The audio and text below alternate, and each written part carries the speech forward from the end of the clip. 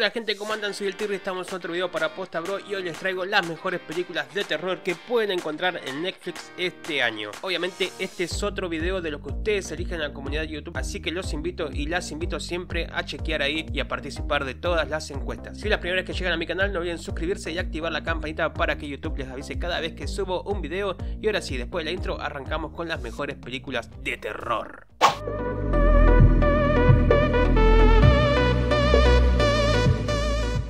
Como siempre les digo, el número no tiene nada que ver, el puesto no tiene nada que ver, ustedes las ordenan como quieran. Intenté poner un poquito de todo para que tengan un abanico amplio de películas para todos los gustos. En el puesto número 10 voy a nombrar a tal vez la mejor, ¿eh? la mejor que hay en Netflix. Así que no me critiquen, solamente la pongo acá porque es viejita y porque quiero que la vean maldita sea y es Psicosis. Una joven secretaria tras cometer el robo de dinero en su empresa, huye de la ciudad y después de conducir durante horas, decide descansar en un pequeño y apartado motel de carretera regentado por un tímido joven llamado Norman Bates, que vive en la casa de al lado con su madre. Véanla y no se van a arrepentir.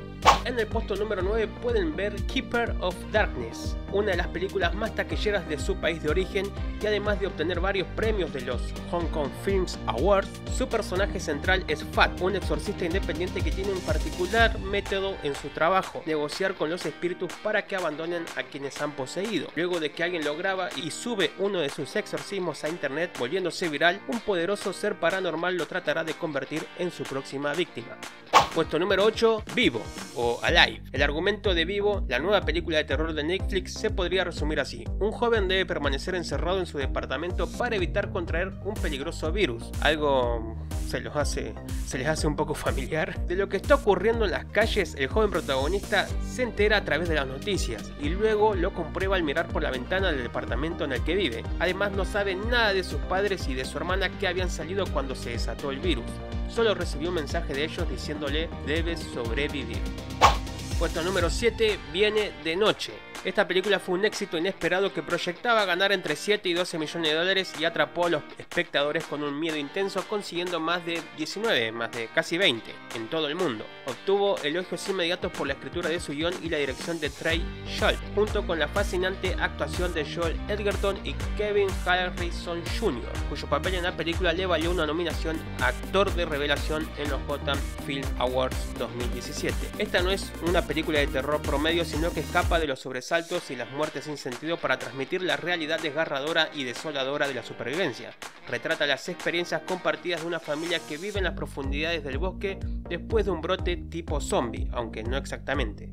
En el puesto número 6 tenemos El Ritual. Después de la muerte de un amigo cercano, pocos meses antes de partir juntos en una expedición, un grupo de cuatro hombres decide hacer un ritual del evento mediante un viaje de senderismo en Suecia. La escapada parece cumplir su propósito con los cuatro, quienes lloran la pérdida de su querido amigo, las cosas comienzan a ir mal cuando uno de ellos se lesiona la pierna y los cuatro deben embarcarse a través de un bosque espeluznante que apesta a misterio y males sin nombre. ¿Podrán escapar sanos y salvos o están condenados desde el mismo momento de la prematura muerte de su amigo. Puesto número 5 y esperando que ya se hayan suscrito y en los comentarios quiero ir leyendo qué película de terror hay que ver, tenemos El Apóstol. Dan Steven interpreta a Thomas, un hombre de fe que viaja a principios del siglo XX hasta una isla con intención de buscar a su hermana, a la que ha secuestrado una secta. Pero cuando se infiltra en la secta se da cuenta de las torturas salvajes que allí se practican a diario y él acaba por convertirse en la presa más deseada. Esta loca carnicería se presentó en el Festival de Sitges de 2018 y resultó un impacto brutal y demencial en la crítica y el público. Puesto número 4, 1922. Película original de Netflix de 2017 y es una adaptación de una novela de Stephen King en la que se cuenta una historia ambientada en 1922 donde un simple pero orgulloso granjero conspira para asesinar a su esposa con fines de lucro y quedarse con sus tierras, convenciendo a su hijo adolescente para que lo ayude, pero sus acciones tienen consecuencias involuntarias. El film resulta en general bastante desagradable por el año en el que transcurre y por las penurias de la época, así que está garantizado pasarla un poquito mal.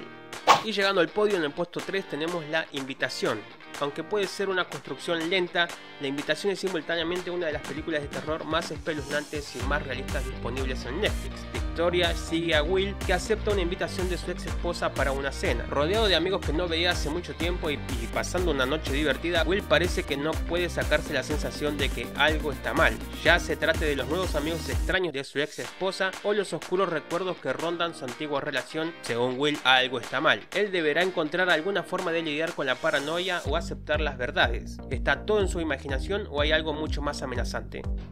En el puesto número 2, Bajo a la Sombra. La película en concreto está ambientada durante la guerra entre Irán e Irak en los años 80. Shide, una ex estudiante de medicina que tuvo que abandonar su carrera después de que el gobierno teocrático tomara el poder en la revolución iraní, se convirtió en ama de casa viviendo con su esposo Irak y su hija Torsa en un departamento en Teherán. Cuando Irak, que es médico, es enviado al campo como parte del esfuerzo de guerra, Shide debe cuidar sola a Dorsa. Por si fuera poco, después de que un misil golpea su edificio, Dorsa comienza a comportarse de manera extraña, convencida de que un espíritu está rodando el edificio. Y a medida que se desarrollan eventos extraños, Shide debe enfrentarse a la posibilidad de que algo sobrenatural está sucediendo.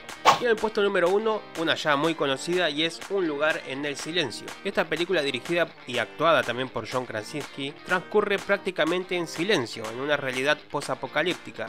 La familia formada por, bueno, Krasinski y su esposa, justamente en la vida real, Emily Blunt, tienen que estar totalmente en silencio intentando huir de unas terribles criaturas que les amenazarán si hacen algún ruido.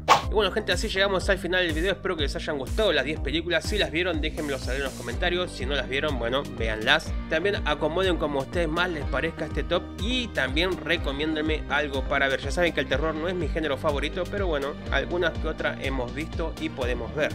Si es la primera vez que llegas a mi canal, no olvides suscribirte y activar la campanita porque publico videos sobre todo el mundo del streaming. Netflix, Disney, Amazon, Fox, HBO, todo. Todo está acá en el canal, así que suscríbete, dale. Y a los demás los invito también a seguirme en las redes sociales porque ahí estoy publicando noticias de todo el cine y las series todo, todos los días y a toda hora. Sin más nada para decir, yo soy el Tirri y esto fue Posta Bro, las mejores películas de terror de Netflix. Cambio y fuera.